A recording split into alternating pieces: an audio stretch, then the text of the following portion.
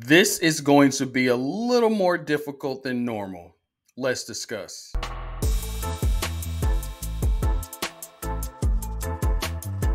Welcome back to Brave Birds DFS, one of the best places for PGA, NFL, MLB, and NBA news, and of course, DFS. If you don't know by now, I'm Walt. If you haven't already, please like and subscribe to my channel. For the simple fact that we can watch the Rams versus Lion game on TV instead of getting a subscription to a service that we don't want, which is Peacock, this game already wins. And I'm sure for the people that are in Detroit in a dome versus the fans who were out there in Kansas City during that game, I think one of the coldest games in NFL history, this game is already winning. All right, so this is your first time tuning into one of my videos. This is my difference maker video. So my difference makers, this is not the captain spot. This is not the second, third, fourth uh, flex spot. This is that player that I believe can round out your lineup, that fifth flex spot or that sixth spot in your lineup.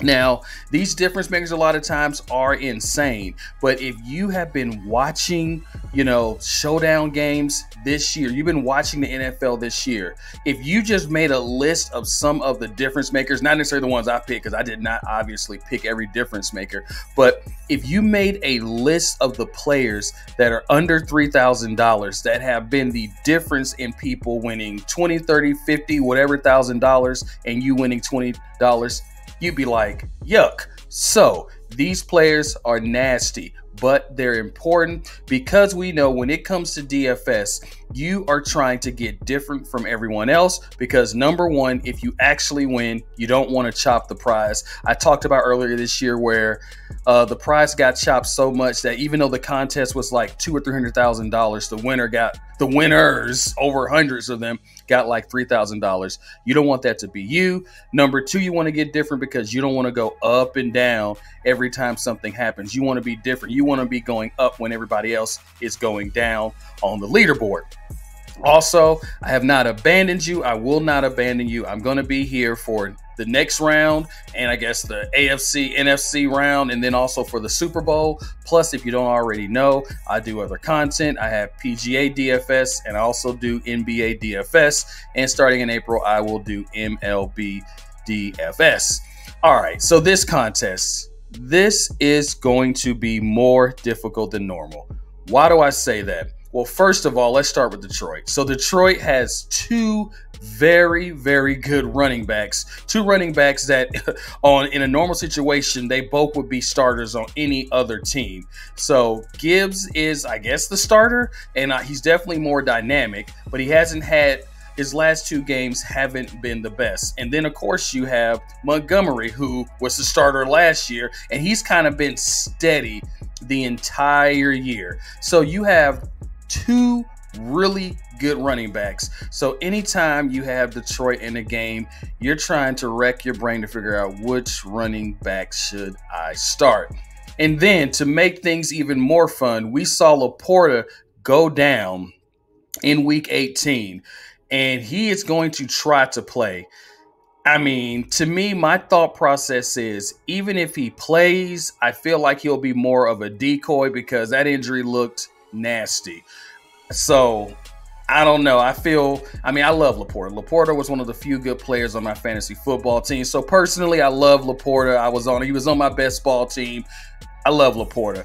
But I feel real nervous about uh, starting him in this game. So maybe sometime uh, before we lock our lineups, we'll find out that he, you know, he's out. Then it makes it so much easier.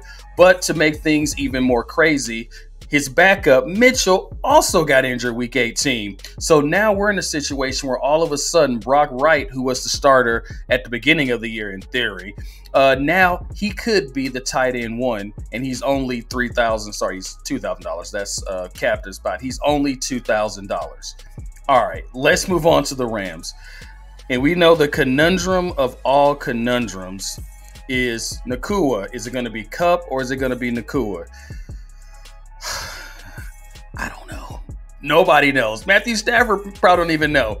So we have two teams. One team that has two alpha male wide receivers. We have one team that has two alpha male running backs. It just it makes our life very difficult. And then as far as trying to get different, both of these teams have a really condensed amount of players who they throw to.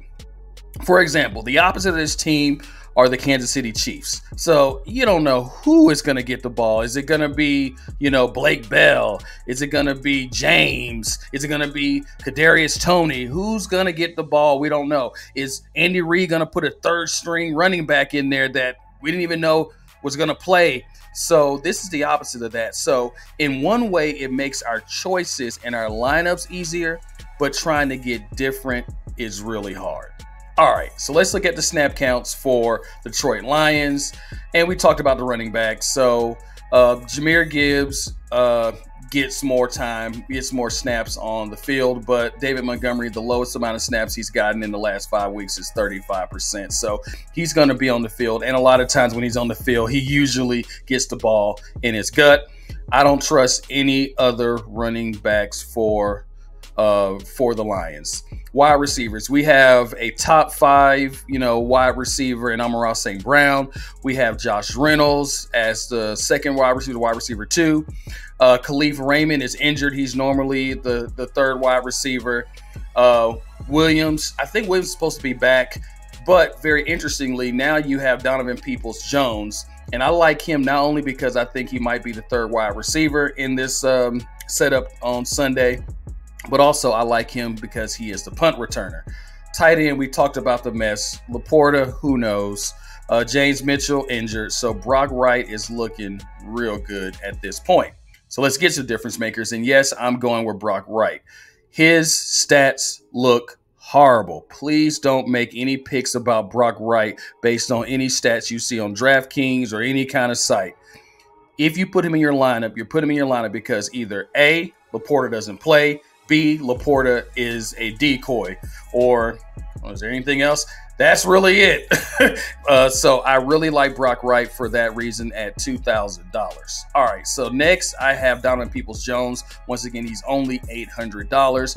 I love punt returners, so I love putting Donovan Peoples Jones with the Rams defense because if he actually does return that punt, you're going to get the Rams points. You're going to get the Donovan People Jones points. And if that actually happens, you're going, if you're not going to be at the top of the leaderboard, if you constructed any kind of decent lineup around beyond the Rams and Donovan Peoples Jones, you're going to be sitting real pretty.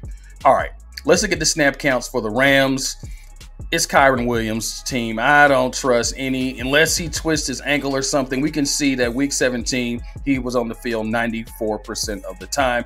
94, 90, 77, and 79 is probably some kind of blowout or something, but he's always on the field. He's active in all facets that a running back can be active. Granted, uh, the Lions have a really good run defense, but a lot of times good running backs find a way to make it work. Wide receiver, we talked about it. Nacua and Kupp. The interesting thing about the wide receiver situation, though, for the Rams, as a lot of people are finding out more, Demarcus Robinson has been playing really well. Now, we're not going to count week 18, but before week 18, he had a touchdown in four out of the last five games tight end. So Higbee is questionable, but I believe Higbee's going to play. Uh, Higbee's going to play. He's always an option, but the problem with the Rams is there's only one ball, and it usually is going to be in the hands or the gut of Kupp, Nacua, Robinson, or um, or Kyren Williams. So Higbee is going to be lower owned than his actual skill level uh, is is just the fact that this team is just so dynamic. Um, Davis Allen, you know, I love second string tight ends. I can't recommend him, but I can't hate on him because he's the kind of person that has been a difference maker in the past. All right, so first, yeah, I'm going outside of my range because you know, everybody's going to be so focused on Kupp and Nacua that a lot of people are going to think about Robinson. But we can see before week 18, uh, he had targets of 10, 6, 3, and 10. And he had touchdowns, like I said, in four out of the last five games. And he had double digit fantasy points. All right, next. I mean, I'm scraping the bottom of the barrel with the Rams. I mean, they really have a condensed, you know, route tree, everything. But Skowronek, we know that when he does get the opportunity, we know he has the hands to do it. And I mean, I'm not feeling all I'm not feeling all, you know, warm and fuzzy about it, but if you put him in your lineup and he actually does break one off, he does have a touchdown this year, is really going to make your lineup look real good. And then we have Austin Trammell, and I have him in here only. Uh, I have him in here only because he is the punt returner. He's rarely on the field. He only has four receptions. But if he actually is in there and you have him with the defense, then you're going to be looking good.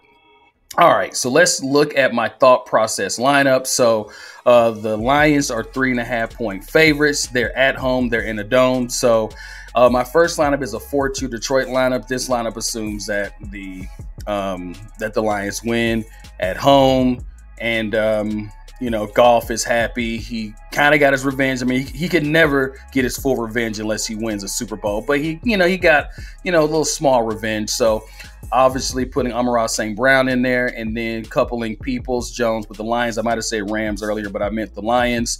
So coupling him with the Lions and then having Jahmyr Gibbs in there. And then I keep Matthew Stafford in there, which is kind of a safety net so you can get some points for, you don't have to decide between Kupp and Nacua. And then I have Kyren Williams because he's one of the best running backs in football. All right, so my next lineup is Rams domination. This is Stafford coming back to Detroit and rubbing it in their face. He already had Super Bowl rings, so he's won. He's won. But he goes back to Detroit and just rubs it in their face. Why did I pick Nacua over Kupp? I have no good reason because nobody knows. Um, you could have your lineup with Kupp. You can have your lineup with Nacua. I think you want to try to play it safe. You can have a lineup with Stafford, but just know if you play it safe and put Stafford in the captain spot, if Nacua or Kupp go off, you're not going to win the big prize. You're going to place. You're going to get your money back. You're going to min cash. You might win, you know, depending on the contest. You're going to get some money. But if you're really trying to win that guap, you're going to have to man up and decide, am I going to put Nacua or Kupp in the captain spot? And I don't know which one to tell you.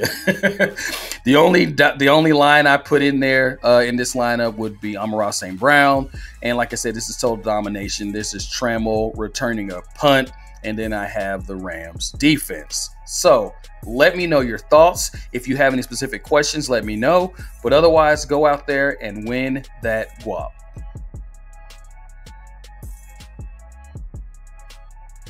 I hope this video helps you with your lineups. If you haven't already, please like and subscribe and hit that notification bell, and I'll talk to you next time.